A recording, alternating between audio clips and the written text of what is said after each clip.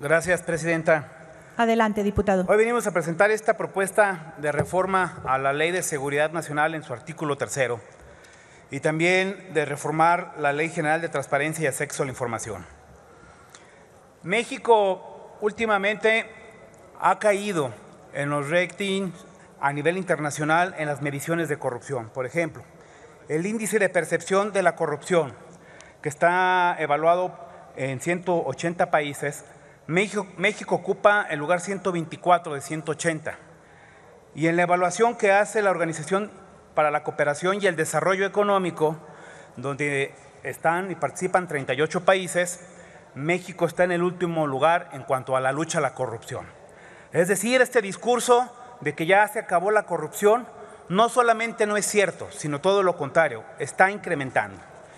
Y algo que pasó hace unos meses, en noviembre del año pasado, a través de un decreto publicado el 22 de noviembre, el presidente de la República avienta este decretazo donde establece en su artículo primero que se declara de interés público y de seguridad nacional la realización de proyectos y obras a cargo del Gobierno de México asociados a la infraestructura de los sectores de comunicaciones, telecomunicaciones, aduanas, fronteras, hidráulico, hídrico, medio ambiente, turismo, salud, vías férreas, ferrocarriles, etcétera, etcétera, etcétera.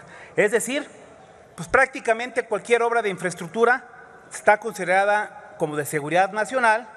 En consecuencia, no puede ser objeto de la ley de transparencia y acceso a la información. Y con esto se evade la responsabilidad del Estado mexicano de mantener la publicidad y la mayor transparencia en el ejercicio del gasto. Y esto lleva, por supuesto, a corrupción, porque además a través de este decreto se establece y dice, que aquellos que por su objeto y características, naturaleza, complejidad y magnitud se consideren prioritarios para el Estado serán de seguridad nacional. ¿Y quién califica y quién clasifica cuándo es prioritario para el Estado? El mismo gobierno, es decir, el mismo sujeto obligado de acuerdo a la Ley General de Transparencia y Acceso a la Información. Lo anterior claramente viene a contravenir lo establecido en la Constitución política de nuestro Estado, a las leyes de la materia, y por lo tanto viene a dar un retroceso en este principio de máxima publicidad enmarcado en nuestra Constitución. También es importante decir que la definición que tenemos, que se encuentra de seguridad nacional, tanto en la Constitución y que hace referencia a la propia Ley de Seguridad Nacional, establece con toda claridad, y voy a dar lectura, dice, el artículo tercero. Seguridad nacional se entiende las acciones destinadas de manera inmediata y directa a mantener la integridad, estabilidad y permanencia del Estado mexicano y que conlleven la protección de la nación mexicana frente a amenazas y riesgos, la preservación de la soberanía e independencia nacionales, el mantenimiento del orden constitucional y el fortalecimiento de las instituciones democráticas, así como el pacto federal y la unidad de las, de las entidades federativas que constituyen nuestra nación. Y finalmente, la preservación de la democracia fundada en el desarrollo económico, social y político del país. ¿En qué momento una obra como el tren Maya pone en riesgo la soberanía nacional para calificarla que es de seguridad nacional? ¿En qué momento una obra como la del aeropuerto Felipe Ángeles se considera un riesgo a la soberanía, o pone en riesgo el pacto federal, o pone en riesgo el orden constitucional. No hay justificación para que las obras de infraestructura sean clasificadas como de seguridad nacional. Y la propia ley establece los momentos en que puede darse la excepción. Y pongo un ejemplo.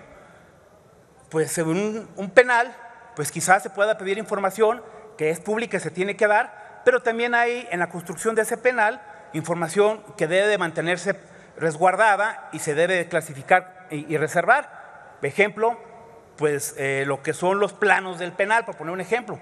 ¿Por qué? Porque puede estar en riesgo la seguridad. Pero para que ello pase, el sujeto obligado, es decir, la autoridad, tiene que justificar por qué clasifica esa información. y la autoridad competente tiene que resolver si es procedente o no es procedente la clasificación de esa información. Por eso creemos que es importante agregar un párrafo en el artículo 3 de la Ley de Seguridad Nacional para establecer que no se podrá clasificar como reservada la información que esté relacionada con proyectos y obras de infraestructura asociados a sectores de comunicaciones, telecomunicaciones, turismo, salud, etcétera, etcétera. Porque nos parece que el presidente ha usado mal el término de seguridad nacional y solamente lo ha usado para proteger información que puede pues finalmente demostrar la, la corrupción que se vive en este país. Sea tan amable de concluir. Sí, concluyo. Entonces, eso sí, el presidente le pide a empresas y a particulares que hagan transparentes sus ingresos, ingresos, pero él, que es sujeto obligado, a través de un decreto inconstitucional, pretende violentar la ley de seguridad nacional, la constitución y las leyes en materia de transparencia Diputado, por y favor. acceso a la información. He concluido, Concluya. Gracias, diputado.